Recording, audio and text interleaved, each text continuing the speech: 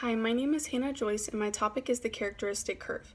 It can also be called a sensitometry curve, Hurter and Driffield curve, H and D curve, and D log E curve. A characteristic curve is a graph that shows how film responds to exposure with low areas of exposure, high areas of exposure, and contrast within acceptable limits. There are different parts of a characteristic curve such as the base plus fog, the toe, the straight line, the shoulder, and the Dmax. Now I will draw you an example. This is what a characteristic curve looks like. Over here is the y-axis, which is the density. And over here is the x-axis, which is the exposure in logarithms. Now over here is the base plus fog. Base plus fog is density without exposure, or inherent density, meaning that there's density already on the film from the manufacturer without ever being exposed. Now over here is the toe of the curve. This is the area of low exposure and cannot exceed 0.25 on the curve. Just because you double the exposure or triple the exposure does not mean that you will double or triple the density.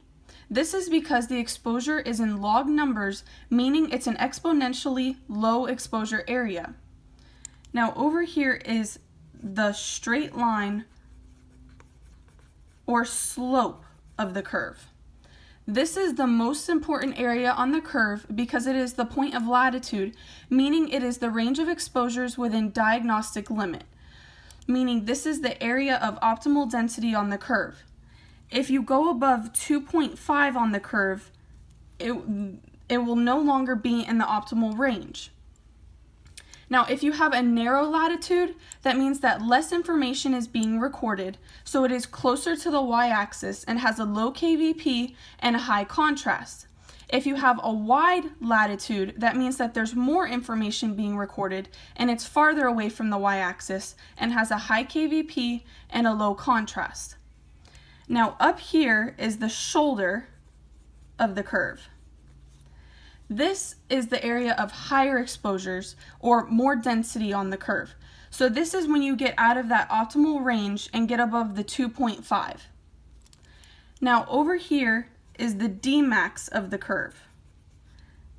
This is the area of maximum exposure. So once you get to this point, the film cannot record any more exposure. So once it gets to this maximum point, it will eventually drop down and then this is called solarization. This is the reverse process of radiographic density. This is when it starts over with the next exposure. Now in digital radiography, there is a different graph called the dynamic range curve. This one is different because it has a linear response to exposure. So now I'm going to draw you an example of this graph. So this is what the digital graph looks like. And as you can see, it has a line, which is linear, rather than having a curve like the other graph. So this line right here, which is the center of the graph, is called window level. Now, the window level adjusts the density of the image. So if you were to increase this window level, it's going to increase the density of the image and decrease the brightness of the image. If you were to decrease the window level, it's going to decrease the density but increase the brightness. So here's another graph in digital radiography known as the lookup table. The lookup table is a post-processing technique that works with window width to adjust the contrast of the image. So if you were to have a more narrow latitude, it will decrease the window width and it's going to increase the contrast and decrease the grayscale of the image. If you were to have a wider latitude, it's going to increase the window width, which is going to decrease the contrast and increase the grayscale of the image. So now I'm going to show you an example of both these graphs on the computer. So this is the original image, and this right here is the window width, window level tool. If you move the mouse up and down, it will change the density of the image, and if you move the mouse from side to side, it changes the contrast of the image. So as you can see, the window level is starting out at 2059. If you increase the window level to 4079, it's going to increase the density of the image and decrease the brightness of the image. Now if you decrease the window level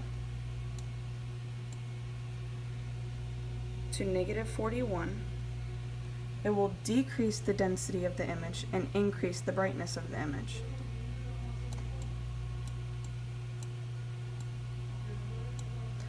So now, the window width is starting out at 4200. If you increase the window width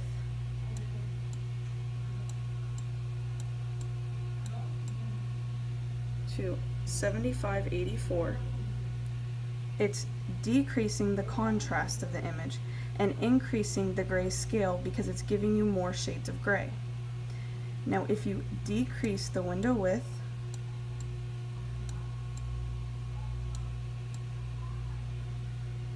to 3072, it's going to increase the contrast, giving you a high contrast image, and decrease the gray scale because there's less shades of gray. I hope you enjoyed the video and this concludes my presentation. Thank you!